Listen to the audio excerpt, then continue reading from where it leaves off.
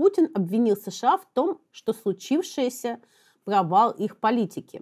По мнению Путина, Вашингтон монополизировал урегулирование этого конфликта, но не справился, так как не придумал компромиссные решения, которые были бы приемлемы для обеих сторон, а вместо этого давил и на ту, и на другую. В общем, он хотел сказать, что США плохой миротворец.